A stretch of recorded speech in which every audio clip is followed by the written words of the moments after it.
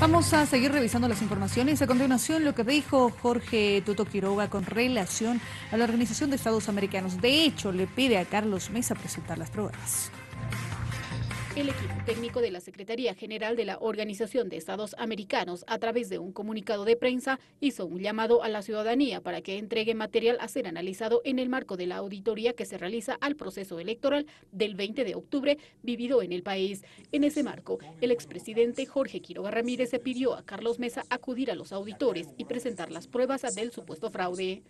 El equipo técnico de la OEA que realiza la auditoría en Bolivia de los comicios del 20 de octubre comprende a más de 30 especialistas y auditores internacionales, entre ellos abogados electorales, estadísticos, peritos informáticos, especialistas en documentos, en caligrafía, en cadena de custodia y en organización electoral. Y uno de los primeros en denunciar ese fraude fue Carlos Mesa.